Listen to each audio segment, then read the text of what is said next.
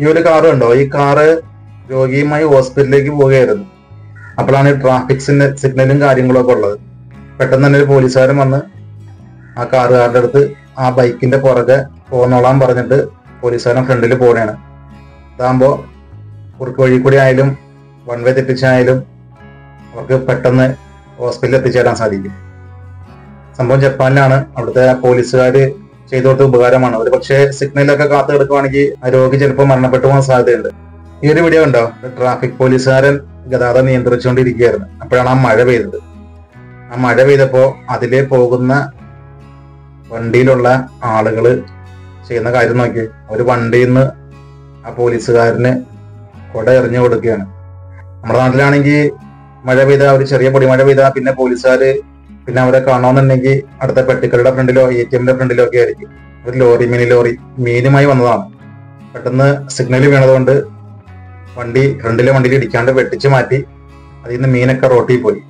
റോട്ടിൽ പോയെങ്കിലും പുറകെ വന്ന വണ്ടിക്കാരൊക്കെ മീനെടുത്ത് ആ വണ്ടിയിലേക്ക് ഇട്ട് കൊടുക്കുന്നുണ്ടോ സ്വന്തം വണ്ടിയിലേക്കല്ല ഇടുന്നത് അവർ. ആ വണ്ടിയിൽ മീൻ കൊണ്ടുവന്ന ആ വണ്ടിയിൽ തന്നെ മീനൊക്കെ ഇട്ട് കൊടുക്കുന്നുണ്ട്.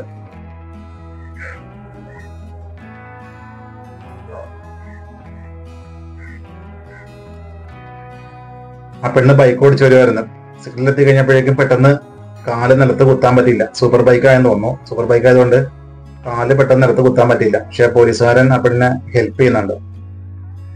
പക്ഷെ ഇത്തരം സാഹചര്യങ്ങളിൽ ചില പെണ്ണുങ്ങൾ വേറൊരു ഐഡിയ ചെയ്യും ഇത് കണ്ടോ?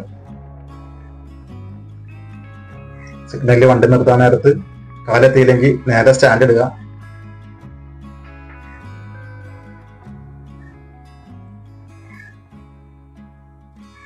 സിഗ്നൽ മാറി കഴിയുമ്പോൾ സ്റ്റാൻഡ് തട്ടി എടുത്തുകൊണ്ട് പോവുക. എന്തായാലും നല്ലൊരു ഐഡിയ ആണ്. ഗൈസ് ഒരു വീഡിയോ ഉണ്ടോ? ആ വണ്ടിയുടെ ബാക്ക് വശം ഫുള്ളായിട്ട് കത്തി. അത് കത്തിയെങ്കിലും ആ ഡ്രൈവർ തന്റെ മനോധൈര്യം വീട്ടിലെടുത്തുകൊണ്ട് നമ്മുടെ നാട്ടിലായിരുന്നെങ്കിൽ വണ്ടി എവിടെയെങ്കിലും പെട്ടെന്ന് ഒതുക്കിയിട്ടിട്ട് ഡ്രൈവർ ഇറങ്ങി ഓടിയാനെ. പുള്ളി ആ മനോധൈര്യം വീണ്ടെടുത്ത് ആ വണ്ടി നേരെ ഓടിച്ച് ഫയർ സ്റ്റേഷനിലേക്ക് കൊണ്ടുവന്നു. എന്തായാലും പുള്ളിനെ സമ്മതിക്കണം. ഈ ഒരു പക്ഷി കണ്ടിട്ട് അരയന്നത്തിനെ പോലെ തോന്നലുണ്ട്. അതോ ഇനി അവിടെയുള്ള വേറെ ഏതെങ്കിലും ഇനത്തിൽപ്പെട്ടാണെന്ന് അറിയില്ല. പക്ഷെ അത് റോഡ് ക്രോസ് ചെയ്യാൻ നേരത്ത് വരുന്ന വണ്ടികളൊക്കെ നിർത്തി കൊടുക്കുന്നുണ്ട്. വണ്ടികൾ ദൂരെ നിന്ന് തന്നെ എല്ലാ വണ്ടികളും അവിടെ സ്റ്റോപ്പ് ചെയ്തു. പക്ഷികൾ മാത്രമല്ല കേട്ടോ മൃഗങ്ങളോ അല്ലെങ്കിൽ മറ്റുള്ള എന്തും. അതുപോലെ ചെറിയൊരു ചെറിയൊരു മൃഗമായാലും ശരി ചെറിയൊരു പക്ഷിയായാലും ശരി. റോഡ് ക്രോസ് ചെയ്യുകയാണെങ്കിൽ അവർ വണ്ടി നിർത്തി കൊടുക്കും. നമ്മളെ പോലെ വെട്ടിച്ച് പോകാൻ ശ്രമിക്കില്ല.